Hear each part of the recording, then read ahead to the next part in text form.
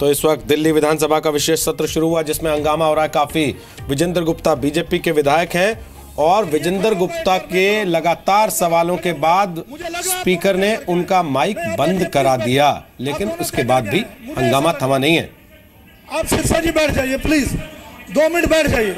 नहीं, मैं मैं कोई कोई चर्चा नहीं प्लीज़ सिरसा जी, आप बैठिए आप बैठिए। प्लीज़ आप बैठिए। विजेंद्र जी, देखिए मैं मैं चेतावनी दे रहा हूँ। हाउस जिस चीज़ के लिए सरकार ने बुलाया है। 20 मिनट बर्बाद हो चुके हैं। सिरसा जी सरकार ने हाउस जिस चीज़ के लिए बुलाया मैं उस पर चर्चा करवा रहा हूँ। बस आप बैठिए प्लीज़ हाँ बैठ जाइए। फैसला आप बैठ जाइए। आप बैठ जाइए। नहीं मैं चर्चा नहीं करवा रहा हूँ। नहीं करवा रहा हूँ मैं चर्चा।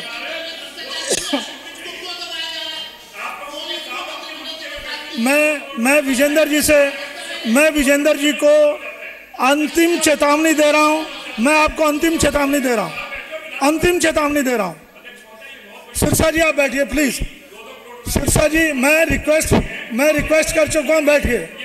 सिरसा जी आप बैठिए मैं रिक्वेस्ट कर चुका हूँ। मुझे समझ नहीं जगदीश आ जी। रही अध्यक्ष जी विपक्ष डर क्यों रहा है?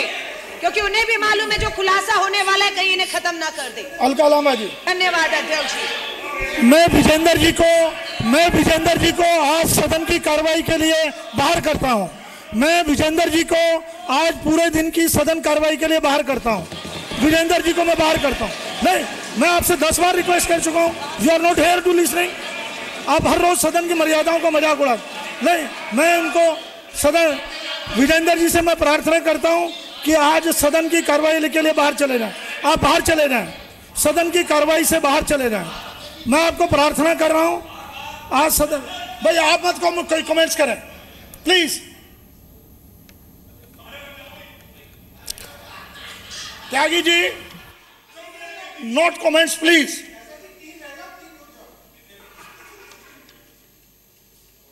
मैं मैं निर्णय दे चुका नहीं मैं, कोई नहीं आपको लोकतंत्र का तरीका मुझे समझाना पड़ेगा। आप- फैसला लीजिए। आप आप बाहर जा रहे हैं नहीं जा रहे? देखिए मैं मैं विजेंद्र जी मैं 20 मिनट समय नहीं खराब करता ऐसे। मैं चाह रहा हूँ आप बैठे सदन में। मैं बराबर चाह रहा हूँ सदन में बैठे। सदन की कार्रवाई को नियम के अनुसार चलने दें। विजेंद्र गुप्ता को बाहर का रास्ता दिखा दिया गया है सदन से और स्पीकर ये कह रहे हैं कि आप सदन का समय जाया कर रहे हैं। आप जो सवाल उठा रहे हैं उस पर चर्चा नहीं हो सकती। सरकार ने जिस विषय पे यह सत्र बुलाया चर्चा तो उसी पर होगी। इसका मतलब ये साफ़ है कि सरकार ने पहले से यह एजेंडा तय किया था कि वो दो करोड़ के मामले पर कपिल मिश्रा के आरोपों पर कोई जवाब नहीं देंगे। वो अपनी बात रखने के लिए सत्र बुलाकर आए थे और विपक्ष इस समय ये मांग कर रहा है कि चर्चा होनी चाहिए रिश्वत कांड पर भी। जो बात कपिल मिश्रा ने कही है जो आरोप कपिल मिश्रा ने लगाए हैं उन पर भी चर्चा होनी चाहिए। लेकिन स्पीकर इस बात से लगातार इनकार कर रहे हैं। अलका लांबा आम आदमी पार्टी के विधायक हैं वो बोलने के लिए खड़ी हैं और वो कह रही हैं कि सदन का समय विपक्ष जाया कर रहा है। असंवैधानिक तरीके से काम कर रहे विजेंद्र गुप्ता। ये कहते हुए स्पीकर ने उनको मार्शल्स के ज़रिए बाहर का रास्ता दिखवा दिया है। देख सकते हैं आप विजेंद्र गुप्ता को बाहर ले जाया जा रहा है वहाँ से। मैंने बार बार रिक्वेस्ट की। और इसके बाद स्पीकर ये कह रहे हैं कि सदन की कार्रवाई सुचारू रूप से चल सके इसलिए विजेंद्र गुप्ता को उन्हें बाहर निकालना पड़ा है। मैं विचार भी करता नेता विपक्ष ये कहे कि सेक्रेटरी साहब से आइए ये पेपर सीएम को दे। ये हाउस चलाने का तरीका नहीं है। नहीं नहीं नहीं कुछ नहीं मैं ये हमेशा होता है ये ये हमेशा होता है। हमेशा उनका यही तरीका रहता है। प्लीज़ बैठिए प्लीज़ प्लीज़ बैठिए। वो अध्यक्ष पद की गरिमा को समझते नहीं नेता विपक्ष के पद की गरिमा को वो समझते नहीं। अब आपसे मेरी रिक्वेस्ट है बैठिए प्लीज़ जगदीश जी बैठिए। सुश्री अलका लामा जी। धन्यवाद अध्यक्ष जी आज अल्पकालीन चर्चा में आपने मुझे ईवीएम के साथ कथित छेड़छाड़ तथा लोकतंत्र के लिए खतरा विषय पर चर्चा करने, आरंभ करने का अवसर दिया। उसके लिए धन्यवाद।